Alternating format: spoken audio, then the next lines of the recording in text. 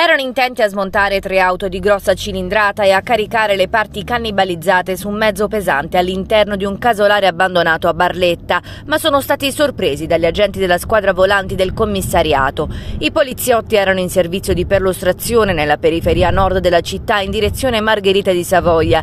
Quando sentiti rumori sospetti provenire da una struttura di campagna, si sono avvicinati scoprendo i banditi. Questi alla loro vista sono scappati nelle campagne circostanti facendo perdere le proprie tracce. Troppo tardi per le auto di grossa cilindrata, due Audi Q3 e una Maserati Levante, risultate rubate nei giorni scorsi anche da città fuori dalla BAT. Sul mezzo pesante sono stati ritrovati pneumatici, blocchi motori, sportelli, cruscotti, paraurti e altri pezzi utili al mercato illecito.